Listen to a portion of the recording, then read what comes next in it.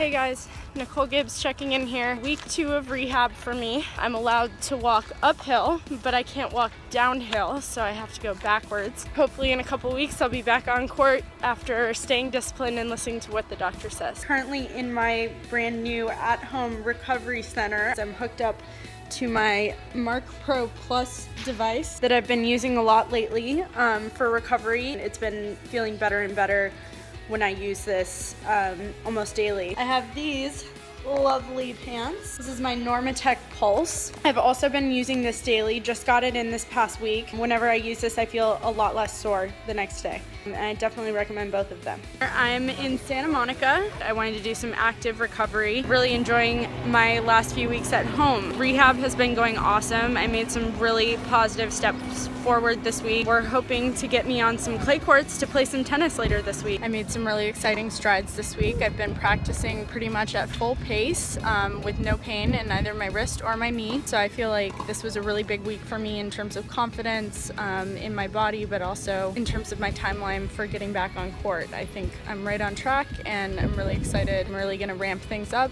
and make sure that I'm ready to go, but um, looking forward to hopefully leaving for Europe around May 3rd. See you guys.